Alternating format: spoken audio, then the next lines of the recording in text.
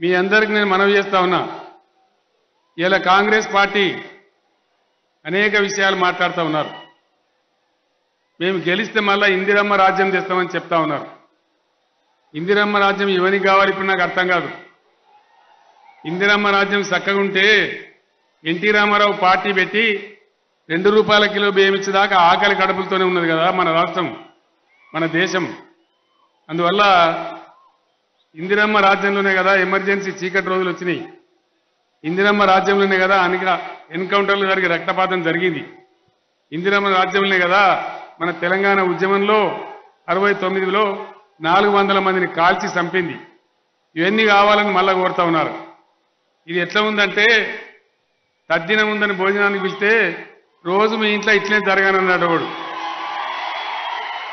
ఇప్పుడు ఆ కాంగ్రెస్ గెలిచేది లేదు నా సచ్చేది లేదు కానీ గెలిస్తే మటుకు ఇందిరమ్మ రాజ్యం తెస్తామని మాట్లాడుతూ ఉన్నారు. తెలంగాణ రాష్ట్రం వచ్చింది.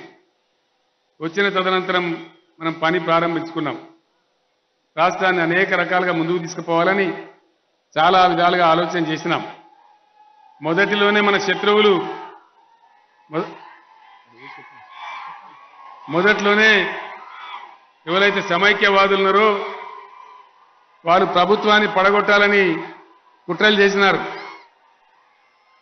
ఏందా బాబు ఎందుకు ఎందుకు వెళ్ళి మీరు? ఆగండి మీరు ఆగండి.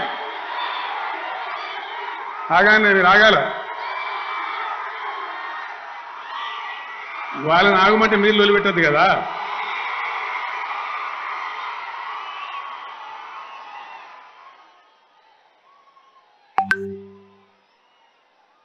ఆపాలి ఆపాలి. మీటింగ్ తర్వాత చెప్పుకుందాం ఆగాల. మీరు ఆపాలి ఆపాలి. ఆపానే బాబు.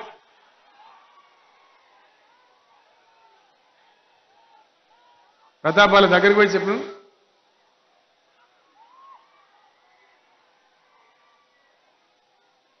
తొలి రోజులలోనే గవర్నమెంట్ కూలగొట్టాలని మళ్ళా కుట్రలు చేసినారు.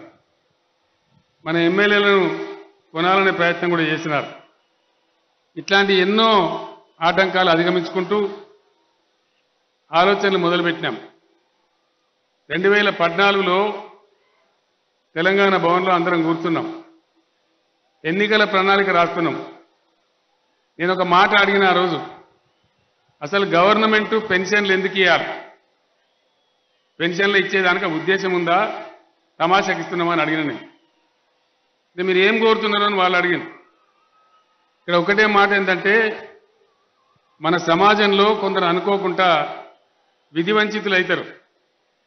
ఒక అమ్మాయికి భర్త చనిపోవచ్చు. ఇంకొక అమ్మాయికి భర్త వదిలేస్తే ఒంటరి మహిళగా ఉండవచ్చు. కొంతమంది ముసలి వాళ్ళు అయితే వాళ్ళకు ఆలన పాలన ఉండవచ్చు లేకపోవచ్చు. ఈరోజు మనందరం బాగున్నాం దేవుని దయ వల్ల. అనుకోకుండా ఒక యాక్సిడెంట్ అయితే మనకు కూడా కాలో చేయకపోవచ్చు అంగవైకల్యం రావచ్చు. ఇటువంటి విధి వంచితులు ఇబ్బందులకు గురైన వాళ్ళు ఎవరైతే ఉంటారో వాళ్ళని కాపాడే బాధ్యత సాటి మానవులుగా ప్రభుత్వం మీదనే ఉంటుంది. మరి కాంగ్రెస్ ఇచ్చే రెండు వందల పెన్షన్ దేనికి సరిపోతుంది? దేనికి సరిపోదు? అర్థవంతంగా ఉండాలని నేను చెప్పిన. మీరు ఏం కోరుతున్నారు సార్ అంటే నేను ఒకటే మాట చెప్పిన. మనం ఏదైనా పెన్షన్ ఇస్తే సహాయం అందిస్తే అది అర్థవంతంగా ఉండాలి. వాళ్ళు బిర్యానీ తినకుండా మంచిదే కానీ కానీ ఎవరికి మోతాదు లేకుండా రెండు పూటల పప్పో పులుసో తిని వాళ్ళ ఇంటికాడ వాళ్ళు ఉంటట్టు కావాలని చెప్పినాం. మొదలు వెయ్యి రూపాయలతో స్టార్ట్ చేసినాం. రాష్ట్రం యొక్క సంపద పెరిగింది. రాష్ట్రం యొక్క సంపద పెరిగింది. దాన్ని రెండు వేల రూపాయలు చేసుకున్నాం. ఈరోజు నేను మీ అందరి మధ్య మన గజ్వేల్ నుంచి ప్రకటిస్తా ఉన్నా. ఈసారి గవర్నమెంట్ వచ్చిన తర్వాత పెన్షన్లు ఏవైతే ఉన్నాయో వాటిని ఐదు వేల పదహారు రూపాయలకు తీసుకొని పోతామని నేను తెలియజేస్తా ఉన్నాను